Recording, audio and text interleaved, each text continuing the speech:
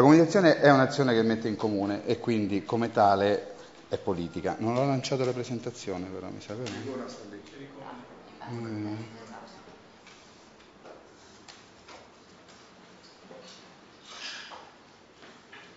Quindi come tutti sappiamo ha due elementi, l'emittente e il ricevente, che utilizzano uno strumento per mettere appunto in comune attraverso un'azione qualcosa.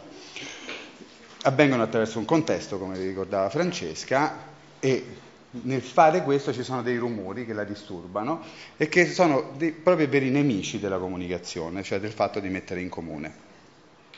Il più classico dei nemici è il paradosso non so se lo conoscete il paradosso del mentitore, questa frase è falsa, è qualcosa che non si può risolvere, perché se è vero che la frase è falsa, naturalmente non è più falsa, se è falsa, quindi non è vera di per sé. Quindi il paradosso, l'illusione, eh, una comunicazione può illudere, la classica delle illusioni è la luna alta nel cielo che ci sembra di una certa dimensione, quando si abbassa all'orizzonte la vediamo più grande. La suefazione, è vero questo, testo vero, scritto sulle previsioni del tempo, fatto il test nessuno se n'è accorto, di sera torna il sole ovunque e la cosa è un po' inquietante se uno ci pensa. Altro problema i fraintendimenti. Mi ha detto vieni da me, non c'è nessuno, ci sono andato e non c'era nessuno. Le percezioni, lo vedete questo cerchio? No, è realmente un cerchio. Il problema è che il campo di contrasto non me lo fa vedere, quindi se io comunico devo comunicare definendo bene un campo di contrasto, altrimenti non vedo le differenze. Quindi che cosa bisogna fare? Soprattutto in relazione al potere, naturalmente, perché se la comunicazione è un'azione che mette in comune, inevitabilmente entra in gioco il potere, perché entra in gioco la politica. Quindi va progettata la comunicazione. In che modo? Con la semplificazione, cosa che quasi nessuno più fa tenendo presente che, anche questo è qualcosa di cui ci siamo un po' dimenticati, ci sono proprio delle istruzioni biologiche nell'uomo.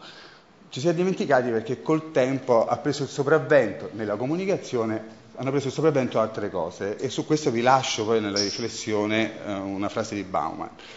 Prima istruzione biologica a garantire la sopravvivenza propria della specie a cui apparteniamo, seconda istruzione biologica a soddisfare la natura di animale sociale, culturale e politico.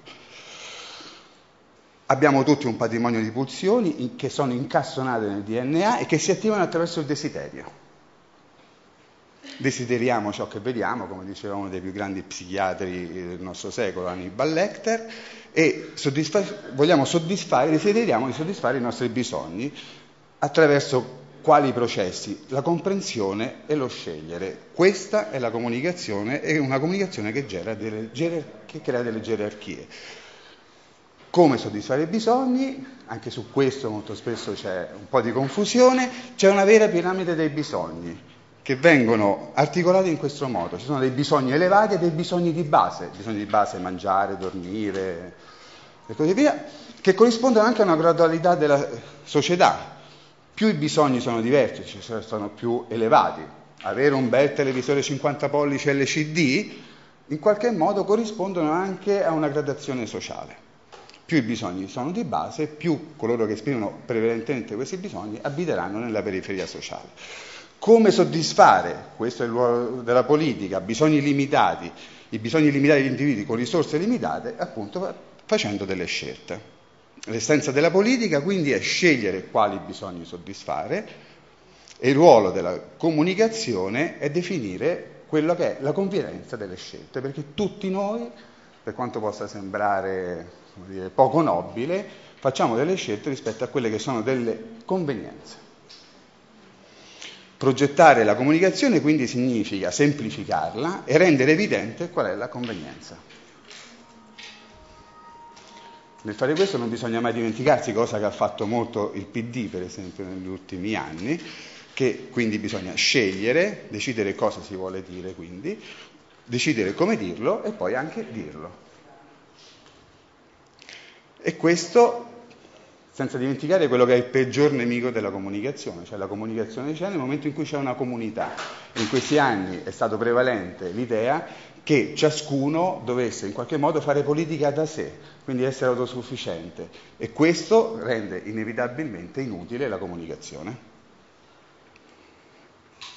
Quasi, eh? Quasi.